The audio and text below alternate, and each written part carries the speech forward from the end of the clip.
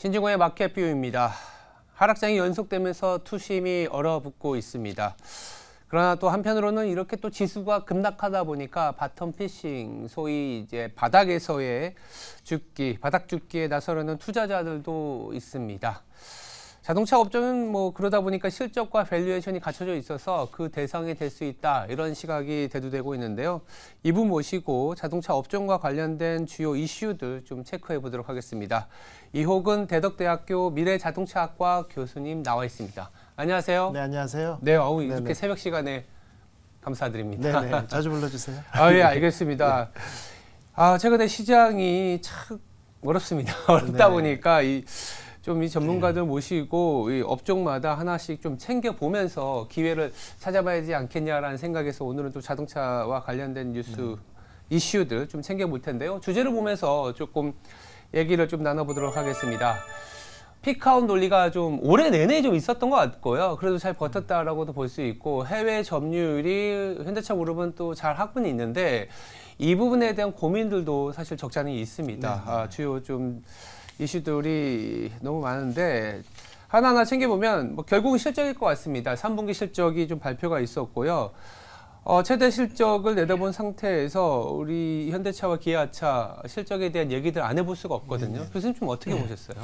일단은 뭐 친환경 자동차 판매는 꾸준히 잘하고 있습니다. 네네네. 다만 최근에 이제 각국 정부들이 자국 산업 보호를 위해서 친환경 음. 자동차 판매의 어떤 조금 약간 소극적으로 나서면서 지원금을 줄인다거나 이런 각종 constraint 제약 조건을 거는 건 좀 문제로 지적되고 있고요. 네. 그다음에 현대의 그 기아의 최대 실적 같은 경우는 뭐 신형 산타페 같은 SUV 고수익 차종의 판매가 상당히 늘었고 네. 또 그랜저 같은 모델이나 제네시스 모델 이런 부분에서 수익이 많이 창출된 것은 상당히 고무적인 일입니다. 음. 다만 한 가지 좀 걱정되는 일은 최근에 그 반도체 이슈가 상당히 몇 년 동안 좀 끌어왔었거든요. 그 그렇죠. 런 반도체 이슈 때문에 실제 자동차 회사들이 할인이나 프로모션이나 이런 걸 전혀 하지 않았다는 거죠. 음. 그러다가 이제는 제각받기가 시작이 돼서 현대기아가 상당히 좋은 실적은 낸 건 맞는데 음. 앞으로 수입차를 중심으로 할인들을 진행하고 있거든요. 음. 이런 할인이나 프로모션에 어느 정도 따라가게 되다 보면은 수익률이 다소 떨어질 우려도 분명히 존재하거든요. 음. 이런 부분에 대한 밸런스가 중요하고요. 특히 전기차 시장 같은 경우는 해외에서는 상당히 줄어들었습니다만 네. 국내에서는 아직도 긍정적인 반응이고요. 이런 부분 때문에 다양한 어떤 세그멘트의 전기차 출시가 아주 당면한 과제가 아닌가 이렇게 보고 있습니다. 일단은 음, 수익성이 어, 물론 뭐 그렇게 크게 훼손되지는 좀 알겠지만 네네네. 뭐 할인이라든지 경쟁 구도에서는 수익성이 좀 둔화될 가능성이 있다라는 네네. 점을 짚어주셨는데 그러다 보니까 이제 수익성과 아니면 수익성을 좀 소위 말해서 커버할 수 있는 게 네네. 매출 성장이지 않습니까? 맞습니다. 매출 성장이다 보니까 새로운 시장에 대한 얘기들이 나올 수밖에 없는데 현대차 그룹이 전통적으로 이머징 시장에서 상당한 강세를 보였고 그렇지만 러우 전쟁 이후로 러시아에서의 매출이 하락이 있었습니다만 최근에 좀 부각되고 있는 시장이 있어요. 바로 중동 시장입니다. 그렇죠. 그리고 이제 사우디에서 첫 중동 생산 거점을 마련할 것이다 이런 얘기들도 나오는데 이 중동 신화가 이 중동이라는 게 사실 이제 유가가 좀 급등하거나 고유가게 되면 돈이 많으니까 이것저것 많이 투자하잖아요. 네네. 70년대에 우리 건설 붐이 있었던 것처럼 그 정도까지는 모르겠지만 그래도 이 자동차 그룹이 제2 중동 신화의 주역이 될 가능성은 또 어떻게 보세요? 일단 사우디 같은 경우는 비전 2030을 통해 가지고 신산업에 대한 성장 동력에 대한 네. 어떤 가능성을 많이 얘기를 했거든요. 네네. 기존에 말씀하신 것처럼 석유 의존도가 워낙 높았습니다만 그렇죠. 전 세계적인 추세로 친환경 자동차에 대한 어떤 도입을 미룰 수는 없다 이런 분위기로 지적되고 있고요. 음. 그 다음에 이제 중동 지역에서 현대 기아 같은 경우는 지난해만 해도 32만 대를 판매를 했었거든요. 32만 대를 판매하면서 상당히 많은 어떤 수출 호조를 보였는데 이제 5만 대 규모의 어떤 공장을 또 특히 사우디 가장 규모가 큰 사우디에다가 이제 건설을 하면서 중동 지역을 공략하는 전략을 보이고 있는데 이런 부분들이 제2의 어떤 중동 붐을 이끌 수 있는 계기가 되지 않을까 이런 큰 기대를 하고 있습니다. 알겠습니다. 보다 이제 또 새로운 생산 거점도 중요하지만 지금 가장 중요한 또 성장성이라고 하면 전기차 쪽이지 네네, 않습니까? 맞습니다. 근데 이제 시장에서는 소위 말해서 좀 난리가 나 있습니다. 전기차 관련 주들이 급락을 해 있고 그럼에도 불구하고 사실 전기차 비즈니스는 계속된 성장을 가져갈 거라는 거에는 네네. 또 의심이 없는 상황인데 이런 성장성을 어, 뭐 현대차 그룹에서도 여러 가지 이제 방안이 있겠지만 이 협력을 구도를 갖고 네네. 가면서 배터리가 굉장히 중요하고 이 배터리의 원활한 수급을 위해서 삼성 SDI와 현대차가 어, 협력에 나섰다라는 뉴스들이 나오고 있습니다. 네. 2026년부터 7년간 삼성 에- 어, SDI에서 배터리 수급을 좀 받을 텐데요.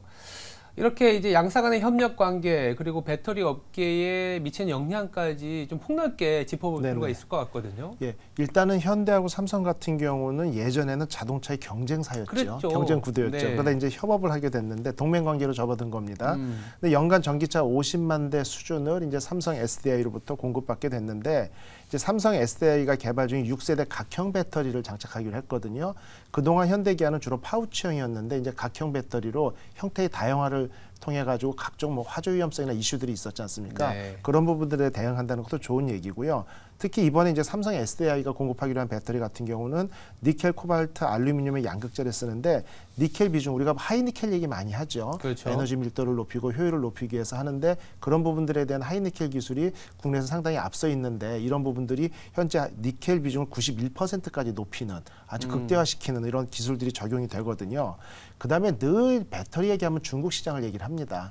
중국에서 전 세계 음극재 광산, 흑연 광산의 45개 중에 30개를 중국 기업이 가지고 있거든요. 그러면서 원 소재에 대한 어떤 컨스테인트를 통해 가지고 다른 기업들의 어떤 경쟁 구도를 갖다 억압한다는 얘기죠. 그런데 이번에 음극재 같은 경우는 실리콘 소재를 통해 가지고 에너지 밀도를 극대화하는 방법을 좀 써가지고 이런 어떤 흑연에서부터 다소 소재를 좀 벗어나는 이런 좀 기술적인 진보는 좀 눈여겨볼 만하고요. 음. 또 삼성 입장에서는 현대차를 장기적으로 7년간 고객으로 확보했다는 면에서 보면 성장 동력을 확보했다. 예. 충분히 좋은 조건이 될 수 있고요. 그리고 이제 현대 같은 경우는 기존의 LG 엔솔이나 SK 온하고는 배터리 공급에 대한 협약이 진행되고 있었거든요. 예. 그런데 특히 이번에 이제 삼성 SDI를 계약을 맺으면서 국내 배터리 3사하고 모두 공급 계약을 맺었다는 게 큰 의미라고 볼 수 있습니다. 그동안 시장에서 상대적으로 좀 소외되어 있었던 게 삼성 SDI가 네, 좀 네. 있었거든요. 네. 이게 좀 모멘텀이 될 수 있을 거라고 보고 있네요. 이게 매출 규모라든지 전체적인 네. 시장의 판도를 바꿀 수 있을까요? 아마 좀 충분히 가능성이 있다고 아, 보여집니다. 그래요? 국내 배터리 3사를 통합적으로 전 세계 매출을 얘기했을 때 삼성이 늘 뒤져 있었거든요. 네네네. 그런데 그 성장률을 보면은 음. 삼성이 가장 컸습니다. 다른 기업들이 연간 뭐 50에서 80% 수준의 성장률을 보였을 때 네. 삼성은 거의 두 배 가까운 성장률을 보이는 어떤 네. 그 지표들이 있거든요. 그러다 보니까 이번이 아주 중요한 모멘텀이 되지 않을까 이렇게 보고 있습니다. 네, 이렇게 전기차와 관련된 얘기로 이제 넘어와서 배터리까지 얘기해 봤는데 배터리가 사실은 또 전기차의 부품이니까 네, 전기차 네. 전체가 잘 팔려지만이 이런 부분들에 대해서 네. 또 좋은 아이디어를 가져갈 수 있는데 전기차 판매량이 다소 주춤될 수 있다 내지는 전기차 판매와 관련된 노이즈들 경쟁 구도가 심화될 수 있다 상당히 많은 그러니까 새로운 성장은 항상 경쟁자가 있기 마련이고 이 경쟁자와의 기술 격차라든지 여러 가지 MS 전략을 갖고 가는 건 맞지만 어, 전체적인 전기차 비즈니스에 대한 관심이 많아진 만큼 자국 우선주의라든지 자국 보호주의 내지는 저가 공세 이런 부분들이 항상 문제이긴 네네. 하지만 조금 최근에 많이 부각된 것 네. 같습니다. 우리 국내 자동차 업계에도 나름의 묘책이 있을 텐데요. 네. 어떤 게 있는지 참 궁금해요. 예, 전기차 같은 경우는 이제 원천적인 내연기관 자동차는 아직도 우리나라가 독일 기술에 많이 뒤졌다 이런 음. 평가를 받고 있는데 네. 독일의 일간지나 각종 뉴- 주요 뉴스 언론들에서 보면은 친환경 자동차만큼 한국이 앞서 있다는 아, 평가를 친환경 받고 있어요. 자동차는 네.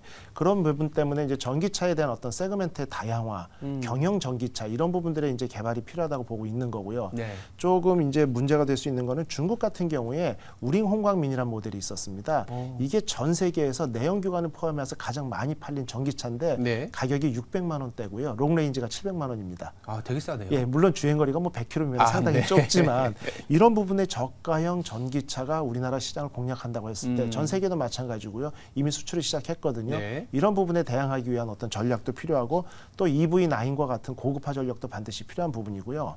조금 전에 말씀하신 것처럼 각국 정부가 친환경 자동차를 확대하는 정책을 펴고 있다가 음. 자국 산업 보호를 위해서 다소 주춤했거든요. 그렇죠. 예를 들면 영국 총리가 그냥 5천에서 만 파운드의 고지서를 우리 가정에 배달을 하면서까지 친환경 자동차 보급에 힘쓸 생각이 없다라고 단언을 했고요. 음. 뭐 독일 같은 경우는 이제 이퓨얼이라는 연료를 들고 나와서 내연기관의 수명을 좀 더 연장시키자라는 얘기를 하고 있고 음. 결국 각국 정부의 친환경 자동차 정책은 결론적으로 자국 산업 보호가 최우선이란 거죠. 그렇겠죠. 그렇다라고 보면은 중국 같은 경우 이제 저가형 자동차 시장을 음. 공략을 하고 배터리 산업의 확장을 통해 가지고 전 세계 배터리 시장을 다 섭렵했거든요. 음. 근데 우리나라의 27개국 수출 규모입니다. 중국은 내수 시장만 하더라도. 그래서 각종 친환경 자동차 보급에도 정부의 어떤 보호 정책이 필요한 시점이 아닌가 이렇게 보고 있습니다. 아, 그 각국의 정부 그리고 이런 움직임을 생각하다 보니까 약간 우려가 되는 포인트가 미- 네. 내년에 미국 대선이 있는데 IRA라는 법을 통해서 네. 사실 전기차 보조금이 일정 부분 또 미국으로 생각하면 다른 나라 업체들한테 나가는 부분도 있었거든요. 네네. 이게 줄어들 가능성. 근데 지금 또 내년 미국 대선 때문에 오히려 그 미국 기업한테는 좋지만 우리나라를 비롯한 타국의 전기차 업체한테는 또 어, 역작용이 있지 않을까라는 우려가 갑자기 생각이 드는데 그거 어떻게 보여야 될까요? 저도 동의하는 바이고 이미 그런 네. 조짐이 보이고 보이고 있습니다. 있죠. 예를 들면 테슬라 같은 경우도 쿼터제에 묶여가지고 그렇죠. IRA에서 지원금을 못 받는 차종으로 분류됐었거든요. 예. 그랬다가 이제 주기 시작하지 않습니까? 그렇죠. 대선을 염두에 둔 것일 수밖에 없고 음. 오히려 더 큰 걱정은 혹시 바이든 정부가 재선을 못하고 트럼프 정부로 돌아서게 되면 음, IRA 정책 전체 기조가 흔들릴 수 있거든요. 그렇겠죠. 그럼 현대기아나 우리나라 배터리 3사가 미국에 공장을 설립을 하고 음. 현대기아는 엊그제도 발표했지만 각국 정부의 전기차 어떤 확대 정책이 위축됐음에도 불구하고 그 다음에 다른 나라의 자동차 회사들이 전기차에 대한 신차 개발이나 투자를 조금 줄인다고 했거든요. 네. 근데 현대기아는 어차피 우상향 곡선을 그릴 거라고 보고 전기차에 대한 어떤 집중적인 투자는 축소할 의향이 없다라고 발표를 했습니다. 음. 근데 혹시 내년 미국 대선에서 트럼프 정부가 다시 들어서게 된다라고 하면 IRA 정책이 완전히 뒤집어질 수도. 있고요. 이럴 경우에 미국의 막대한 투자금을 투입을 하고 공장을 설립한 국내 기업들에 대해서는 어느 정도의 출혈이 예상되는 수밖에 없는 상황이기 때문에 상당히 예민한 문제라고 볼 수 있습니다. 아, 이게 공교롭게도 딱 1년이 남은 시점인데 기업 입장에서는 투자를 일단 해놨고 내지는 그렇죠. 투자를 위한 자금 조달이라든지 전체 계획이 있을 텐데 연말 되면 또 기업들은 다 계획을 세우잖아요. 네네. 엄청 부담스럽고 곤혹스러울 수밖에 없는 상황인데 이런 상황에서 업계 1위라고 할 수 있는 테슬라가 또 죽는 소리인지 모르겠지만 어, 전기차 비즈니스에 대한 고민들, 그러니까 시장 자체가 커지는 건 맞지만 뭐라 할까요? 가격 인하를 통해서 MS를 늘리고 그런 과정에서 마진이 이제 불가피하게 축소되는 그런 상황이 있습니다. 그리고 그렇다 보니까 테슬라의 주가 자체도 흔들리게 되고 있거든요. 그럼 테슬라의 주가 흔들리는 거 보면서 투자자들은 또 어떻게 생각하냐면 와 이제는 2차 전지 내지는 전기차가 성장주는 맞지만 우리가 보통 고성장주 계속 시장의 주도주라든지 어, 이런 색깔은 아닌 거 아니냐 이런 고민에 빠지시는 분들도 있습니다. 그래서 테슬라의 성장성이 항상 멈췄다라는 뉴스는 2017년, 18년부터 나왔지만 지금까지 네네. 끌고 오긴 했거든요. 지금은 정말 고민이 된다라는 분들도 계세요. 음. 어떻게 봐야 될까요? 실제 이제 테슬라의 성장성 같은 부분은 저는 음. 오히려 지금 과도하게 평가된 부분이 잠깐 이제 진정세다 아, 이렇게 약간 보는 거고 진정되는. 예, 예, 조정 타이밍이다 보이고 지속적으로 음. 성장할 걸로 보여져요. 왜냐하면 테슬라 같은 경우는 이제 저도 이 수치를 얘기하는데 매년 긴장되는 게 음. 한 1, 2년 전만 하도 판매 수량이 130만 대, 네. 150만 대였다 지금은 생산량이 200만 대로 늘어났거든요. 네. 근데 모델은 4개 정도밖에 되지 않습니다. 아. 차한 대당 결국은 50만 대의 판매량을 보인다는 얘기거든요. 이 정도면 수익률이 상당할 수밖에 없고 보통 자동차 같은 경우는 5만 대 단위로 생산량이 늘 때마다 원가가 30%씩 절감되는 어떤 효과가 음, 있거든요. 그쵸. 그러다 보니까 테슬라 같은 경우는 차 한 대 팔았을 때의 어떤 수익률이 한 9,700달러 정도가 좀 넘습니다. 만 달러에 육박하거든요. 와. 현대 기아는 그것의 10분의 1 정도인 970에서 1,000달러가 안 되고 있고요. 네. 포드나 중간 업체들 같은 경우도 뭐한 2,200에서 4,500달러 미만. 결국 음. 테슬라가 압도적으로 큰 수익을 보고 있기 때문에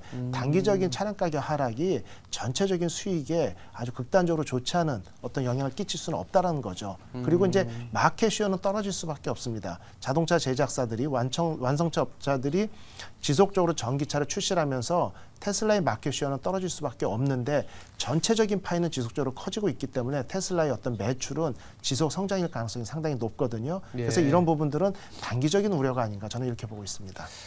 아, 테슬라가 이렇게 뭐 소위 말해서 지금 아까 듣기로는 테슬라는 한 대당 만 달러, 네네. 현대차는 한 대당 천 달러, 뭐 맞습니다. 10배의 어떤 수익이 차이 나다 보니까 테슬라 입장에서는 여러 가지 전략을 쓸 수가 있는 그렇죠. 상황이고 매크로 탑다운적인 측면에서 본다면 지금 미국의 자동차 판매량에 대한 고민이 많은 게 내년에 일단 지금 휘발유 가격이 너무 높고 거기다가 자동차 할부 이자가 너무 높은 상황이다 그렇죠. 보니까 연체율이 좀 올라가고 있다고 하더라고요. 그렇게 되면 테슬라 입장에서는 내가 이렇게 수익이 많이 남고 고정비를 충분히 커버할 수 있으니까 더더더 가격 인하하면서 테슬라 이외의 전기차 아, 음, 메이커들을 좀 따돌리려는 전략을 더 가열차게 하지 않을까라는 고민이 네. 있거든요. 예, 지금 현재 그런 전략으로 할인을 하고 있고요. 네. 테슬라가 상당히 재밌는 게 보면 우리는 모델리어가 바뀌거나 네. 부분 변경을 통해 가지고 차량 가격을 인상하잖아요. 국내 국내에서도 그렇고 음. 차량이 상당히 인기가 있다 싶으면 아무 이유 없이 차량 가격을 뭐 천 달러, 이천 달러 올려버리는데, 그냥 올리고요. 예. 인기가 없으면 바로 내리고 네. 이런 어떤 묻지마 정책을 펴고 있는 것도 음. 어떻게 보면은 기업을 플렉서블하게 운영하는 장점이라고 볼 수 있거든요. 음. 그러다 보니까 지금 또 미국에서는 이제 자동차 업계의 파업이 이슈거든요. 근데 파업에서 혜택을 보고 있는 게 실은 테슬라하고 현대기아입니다. 아. 노조가 없거든요. 아. 노조가 없기 때문에 전기차에 대해서 일등인 테슬라를 추격하고 있던 포드나 다른 기업들의 전기차에 대한 투자가 다소 위축되고 있습니다. 왜냐하면 노조들하고의 이제 협상이 최소한 23에서 25%의 상승, 거기다 부가 비용까지 하면 약 30% 정도의 상승을 보이고 있다라고 하면 시간당 인건비가 이제 100달러를 깨끗이 넘어가는 수준이거든요. 테슬라 는 현재 시간당 46달러입니다.